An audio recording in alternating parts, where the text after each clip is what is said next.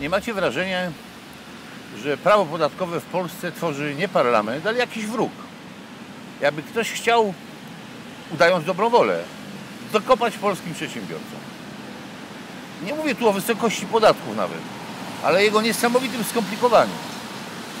Jest ono tak skomplikowane, tak najeżone niejasnościami i pułapkami, że nawet urzędnicy, sędziowie w dobrej wierze wydają sprzeczne interpretacje, sprzeczne orzeczenia. Ale oni nie ponoszą odpowiedzialności, a przedsiębiorcy tak.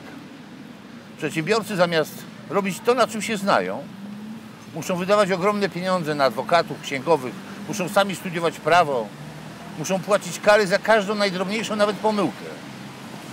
Wielkie korporacje jeszcze na to stać, ale drobniejszych przedsiębiorców już nie.